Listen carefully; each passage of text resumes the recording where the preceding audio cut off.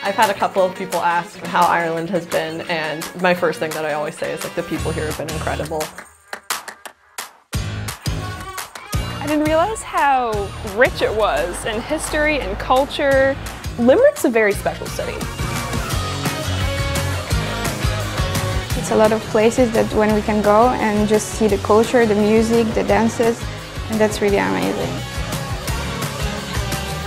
I think it's so important to get out and see ideas that aren't your own. Put your foot in everything because Ireland is very fun and there's like a lot of tradition, there's a lot of like modernization, there's just everything for everyone.